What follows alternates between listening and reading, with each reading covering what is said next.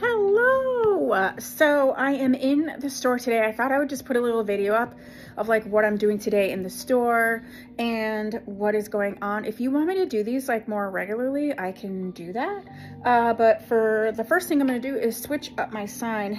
I made these signs, these chalkboard signs. Like this one's for like when I'm closed. I have one for when I'm open, which is the one that I need to put on right now. And I have one that's on there that's like a BRB.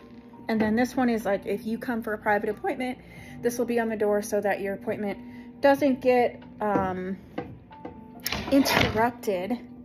So the things I plan to do today, I have a bunch of orders that just came in, so I need to check everything in. I need to start packing and shipping orders. See, this is the one here. Oh, there's my little bell some of you were worried, I do have a bell now. So if somebody comes in and out of the door, I will hear them. So we're gonna switch this up so it just says that we're open. Um, so what I need to do is unpack these boxes, ship orders. Um, I need to finish some chalkboard signs that I'm working on. So all of the chalkboard signs, like these ones here, are like going to be more educational. So one of them is going to have all of the cap constructions on it. And then this one over here is going to have like the fibers on it.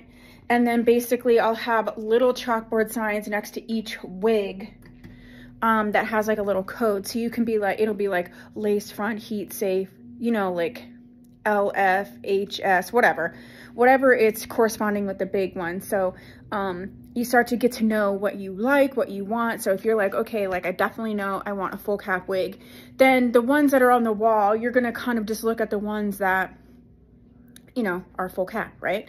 So I have those signs to do today. Um, I have a wedding expo this Saturday that I need to get ready for. And then uh, we have two live sales. So I also have to get ready for the two live sales. So that's kind of what I'm doing today.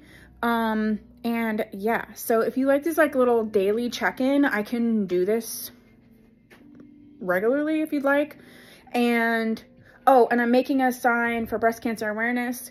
And also I'm gonna change my hours for holiday starting November 1st. So that's kind of what we're doing. Checking in stuff, putting stuff out, packing orders, placing orders, all the stuff I would normally do when I didn't have a store that was like open to the public, plus all of the open to the public stuff. So that's what I have for you today. Um, if you like these type of videos, let me know and I will see you soon. Bye.